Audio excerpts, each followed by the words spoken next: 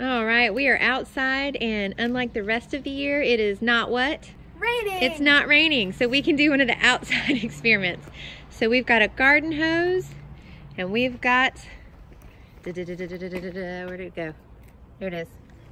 a rock. and I've got my handy helper. Wave. Hi to your class. Okay, so we're gonna turn on this water and start our experiment. Keep the hose pointing that away, friend. All right, I can get the water on. It's coming. Okay, so there's our hose.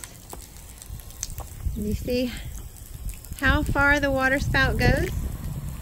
All right, now I want you to cover up just a tiny bit of it with your thumb. You tell that it went a little farther? Now cover up even more with your thumb.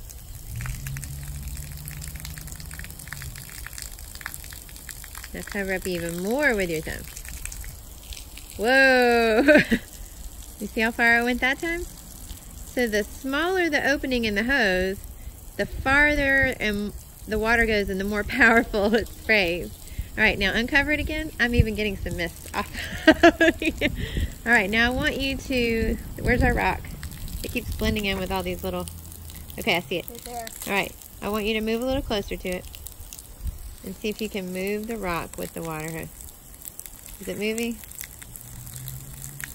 Uh, well, if you put it, you can barely scoot it if you put it right on it. Okay, now I want you to cover up part of it. Try to move the rock. Moves a little better. Cover up a little bit more. So now you can make it move. There goes our rock.